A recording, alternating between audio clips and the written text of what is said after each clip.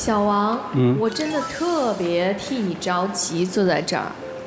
我现在问你第一个问题，就是你夫人在怀孕期间，你一走就是好几天，是她做了什么让你不能容忍的事情吗不？不是，是因为当时没上班嘛，好，然后她就，呃，看不惯嘛，就说我这样，说我那样，然后我就是。但是你夜不归宿，她知道我在哪里，她知道哪里啊，她她怀孕了，她需要人照顾啊。她是人生当中非常脆弱的时刻。你可以不工作，可以拿不回家钱，这只是人生当中的一个时间段、一个节点，我是可以理解的。但是我不能理解她在怀孕的时候你不在身边。第二个问题，你冲着你们家几个月的孩子吼，他听得懂吗？你只能把他吓得更哭。他不不理解爸爸为什么冲我吼，这样一个人，我平时见的也比较少啊，看到以后就开始喊，对孩子是有刺激和伤害的，你知道吗？你所有的这种负面情绪自己没有办法消化，只去逃避，只去发泄，那你老婆怎么办？孩子怎么办？在你们两个人的婚姻关系当中，我看到这位女士，她就一直是努着往上拔。坐月子的时候给孩子洗澡，你躺那玩手机、打电话、玩游戏，为什么？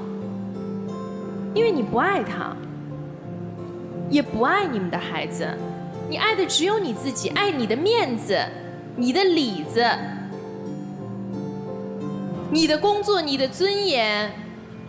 但是我们为人父母，首先要照顾的是家庭，是子女。大家有的时候开玩笑说：“我上班干嘛？我赚奶粉钱。”真的就是在赚奶粉钱。而这个奶粉钱现在是谁出的？是你太太出的，是父母出的。你是有工作能力的人，如果你没有能力，我今天也不说什么了。我要的是一个态度。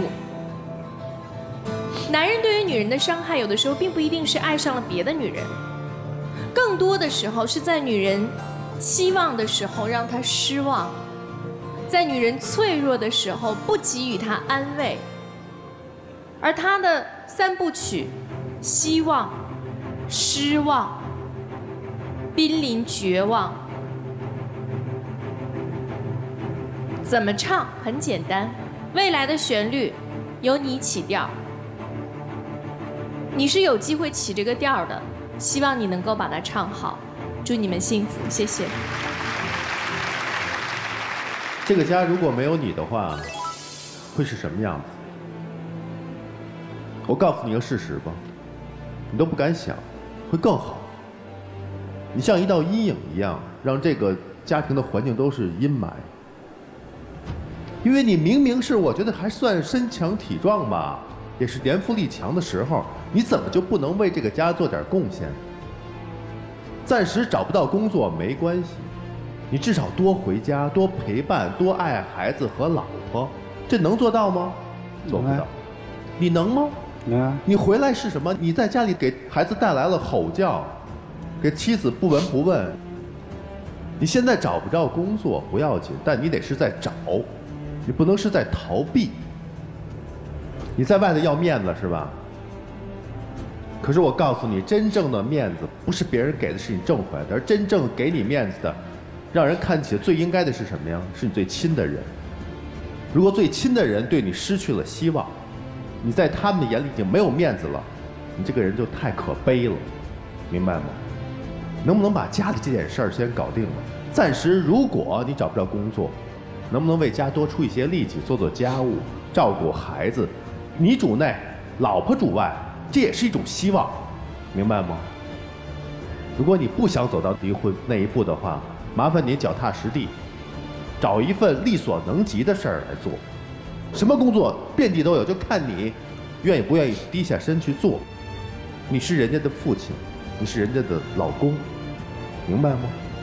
做好一个男人该做的事情吧，好吗？就这样。确实，我也挺像。